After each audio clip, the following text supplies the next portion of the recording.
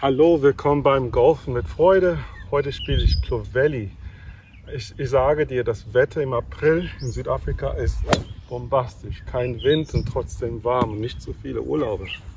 Ich möchte einen ganz kurzen, wichtigen Tipp dir geben. Und es geht um den Abschwung. Wir wollen auf der Ebene bleiben beim Abschwingen.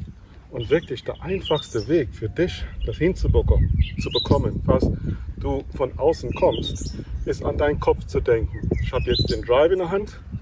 Ich werde ausholen und werde, was ich tu, denken werde und was du denken solltest, ist den Kopf hier zu lassen. Weil, weil wenn ich meinen Kopf hier lasse, ist es fast unmöglich von außen zu kommen. Okay, so das ist mein einziger Gedanke, meine Hüfte hier irgendwo zu haben und mein Kopf da, wo er war, vor dem Schlag, hinter dem Ball.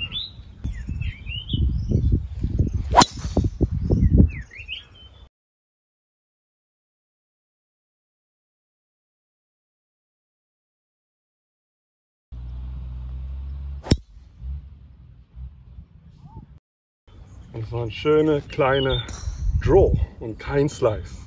So denkt daran, es hilft. Bis bald.